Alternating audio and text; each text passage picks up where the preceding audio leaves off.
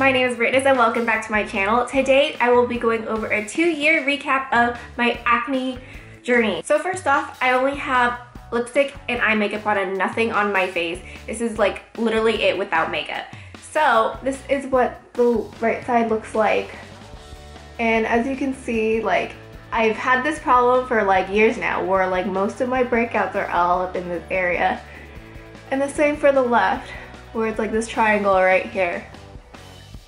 I've read that most, if you have breakouts right in that area, it's because you're eating a lot of like sugary, acidic stuff, which is bad for you. And well, not so much bad for you, but too much of it is bad for you. So if you eat like a lot of sweets and drink a lot of coffee, which I am definitely guilty of, then that'll probably definitely break that part out. And I have not been getting enough green juice in, and so that is probably why I haven't been able to clear that spot lately.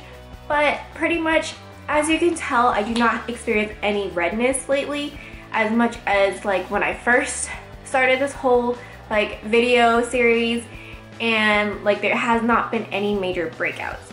So yeah, as I was saying, like it's just like a lot of scarring and like they're not as red and they're not as like, you know, whitehead-ish and all that jazz. So yeah, that's where we're at right now. I'm so excited with my skin right now and it's been pretty good. Um, like I said, I just need to drink more green juice and you know, less caffeine and all that other stuff. So I'm gonna start doing like a series of like acne related videos, such as like DIY mask, tips for like helping your acne. So please leave your comments below of what you would like to see. Next week I'm going to be doing my first one, which is the DIY coffee mask, so stay tuned for that. And if you like this video, please give it a thumbs up, and I will see you all next week. Bye.